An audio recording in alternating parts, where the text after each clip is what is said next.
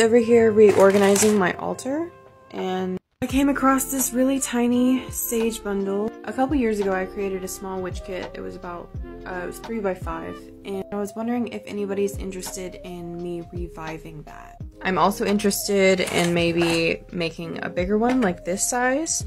So you guys let me know and what would you like to be included in the box or the little tin?